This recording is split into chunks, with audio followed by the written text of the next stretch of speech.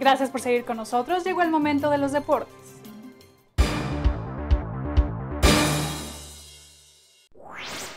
En el mundo del tenis, los argentinos Juan Martín del Potro y Leonardo Mayer y la estadounidense Serena Williams, número uno del mundo y vigente campeona, superaron la primera ronda del abierto de tenis británico este martes en Wimbledon. Novak Djokovic, número uno mundial y ganador de la prueba en 2011, se clasificó sin problemas para la segunda ronda al imponerse al alemán Florian Mayer en tres sets.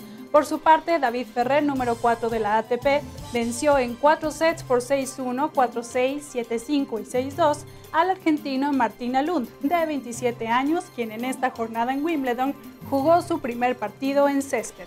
También en tres mangas, Leonardo Mayer se impuso al esloveno Al Hasbeden por 6-2, 6-3 y 6-4. En el cuadro femenino, Serena Williams, número uno de la ATP y defensora del título, se impuso en menos de una hora a la luxemburguesa Mandy Minella por 6-1, 6-3. La ganadora de la última edición de Roland Garros se medirá en la segunda ronda a la francesa Caroline García, quien derrotó a la china Ji Zheng ganándole por 6-3, 6-4. El Real Madrid anunció el nombramiento del italiano Carlo Ancelotti como su nuevo entrenador para las próximas tres temporadas, quien tendrá como principal tarea ganar la décima Copa de Europa para el club de fútbol español. El ex técnico del Paris Saint-Germain será presentado mañana miércoles y sustituirá al portugués José Mourinho, que dejó el club al finalizar la temporada para fichar por el Chelsea. Ancelotti, de 54 años, fue vinculado con el puesto desde la salida de Mourinho y pidió marcharse del Saint-Germain, pero el acuerdo se había retrasado, supuestamente porque el campeón de Francia no encontraba un sustituto. La prensa española informó de que el Madrid pagará alrededor de 4 millones de euros como compensación por el año de contrato que Ancelotti aún tenía con el club gal.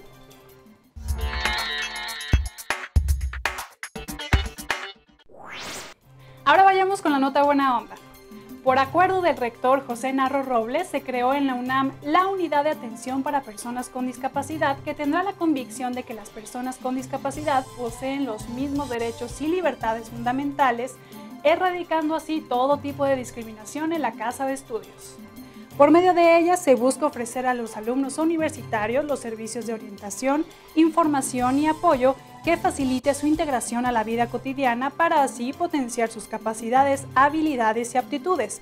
Este centro además contribuirá a la formación profesional de los alumnos, facilitará su incorporación al mercado laboral y ofrecerá asesoría a través de especialistas y personal capacitado en materia de atención a las personas con discapacidad.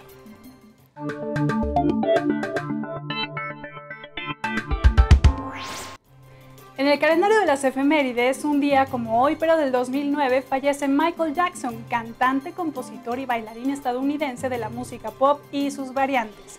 Conocido como el rey del pop, logró cerca de 80 récords por diferentes motivos. Su contribución a la música, al baile y a la moda, además de su publicitada vida personal, lo convirtieron en una figura de la cultura popular. Debido al extraordinario impacto de su álbum Thriller, el disco más vendido de la historia de la música, se convirtió en la mayor estrella de la música pop. Algunos de sus álbumes publicados como Off the Wall y Dangerous figuran entre los álbumes más vendidos de todos los tiempos, lo que le sirvió para entrar en el Rock and Roll Hall of Fame. Por otra parte, 13 de los 98 sencillos de Jackson alcanzaron el primer lugar de la lista Billboard 100 se estima que Michael Jackson vendió más de 400 millones de sus producciones musicales, lo que lo convierte en uno de los músicos con mayores ventas de los últimos tiempos.